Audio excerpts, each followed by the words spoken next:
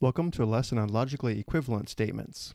If we take a look at the truth table below, notice how the column for if P then Q is true, false, true, true, and the column for the negation of P or Q is also true, false, true, true. This means that no matter what P and Q are, the statements the negation of P or Q and if P then Q either are both true or both false. We therefore say these statements are logically equivalent. Two molecular statements P and Q are logically equivalent provided P is true precisely when Q is true. That is, P and Q have the same truth value under any assignment of truth values to their atomic parts.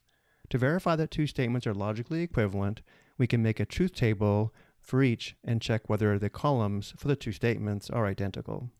Recognizing two statements are logically equivalent can be very helpful rephrasing a mathematical statement can often lend insight into what it is saying or how to prove or refute it.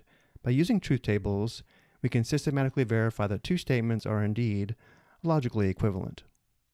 Let's look at an example. Are the statements, it will not rain or snow, and it will not rain, and it will not snow, logically equivalent? Let's let P be the statement it will rain, and Q be the statement it will snow. We want to know whether the negation of P or Q is logically equivalent to the negation of P and the negation of Q. Notice the first two columns of the truth table are for P and Q to list all the possible combinations of T's and F's for true and false. We have true true, true false, false true, and false false. And now let's consider the negation of P or Q. The negation of P or Q is true only when P and Q is false, which occurs when P is false and Q is false. Otherwise, the negation of P or Q is false. We'll notice in the fourth row, P is false and Q is false, which means P or Q is false, and therefore the negation of P or Q is true. Everywhere else, the negation of P or Q is false. This gives us false, false, false, true for the column. Next, the negation of P and the negation of Q is true only when the negation of P and the negation of Q are true, which is when P and Q are both false. Well, again, looking at the fourth row, P and Q are false, and therefore the negation of P and the negation of Q are true, indicating the negation of P and the negation of Q is true in row 4. Everywhere else, the negation of P and the negation of Q is false.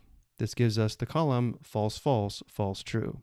Because the two columns are identical, the two statements are equivalent. Notice this example gives us a way to distribute a negation over a disjunction, meaning an or. We have a similar rule for distributing over conjunctions, meaning ands, which leads us to De Morgan's laws. First, the negation of P and Q is logically equivalent to the negation of P or the negation of Q. To go from the statement on the left to the statement on the right, the negation passes across the parentheses and applies to the P, then the and changes to or, then we negate Q. These two statements are logically equivalent, which means if we had the truth table, the columns would be identical. And this should make sense. The negation of P and Q is false, only when P is true and Q is true. Otherwise, the negation of P and Q is true, which is the same for the negation of P or the negation of Q. The negation of P or the negation of Q is false only when P is true and Q is true. Otherwise, the negation of P or the negation of Q is true. Next, we have the negation of P or Q is logically equivalent to the negation of P and the negation of Q. Again, starting with the statement on the left, the negation passes through the parentheses and then negates P, the OR changes to AND, and then we negate Q.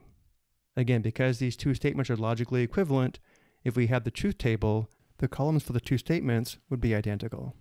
And again, hopefully this makes sense. The negation of P or Q is true only when P is false and Q is false. Otherwise, the negation of P or Q is false. And the same is true for the negation of P and the negation of Q. This is true only when P is false and Q is false. Otherwise, the negation of P and the negation of Q is false. This suggests there might be some sort of algebra we can apply to statements to transform one statement to another. And there is, it's called Boolean algebra. We can now start collecting useful examples of logical equivalence and apply them in succession to a statement instead of running out a complicated truth table. Let's take a look at a couple more logically equivalent statements. Next, we have implications are disjunctions. If P then Q is logically equivalent to not P or Q. And again, this should make sense. Remember, if P then Q is false only when P is true and Q is false, otherwise if P then Q is true. And not P or Q is also false only when P is true and Q is false, otherwise not P or Q is true. With this and De Morgan's law, we can take any statement and simplify it to the point where negations are only being applied to atomic propositions. Well, actually not, because we could get multiple negations stacked up, but this is easy to deal with. The double negation of P is logically equivalent to P. For our last example, let's prove the statements the negation of if P then Q and P and not Q are logically equivalent without using truth tables. So starting with the statement the negation of if P then Q, we will apply implications are disjunctions, which gives us the negation of the negation of P or Q.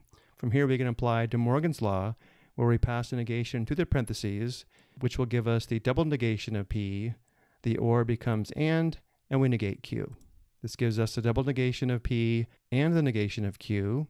From here we can simplify using the double negation rule, which gives us P and not Q, which is what we were trying to show, the two statements are equivalent. This illustrates that the negation of an implication is not an implication, it is a conjunction. We can verify the results using a truth table, which I've shown here below. Notice how the two columns for the negation of if P then Q and P and not Q are identical. Before we go, let's summarize the logically equivalent statements we've discussed. We have De Morgan's laws, we have implications are disjunctions, we have double negation, and now we have the negation of an implication. I hope you found this helpful.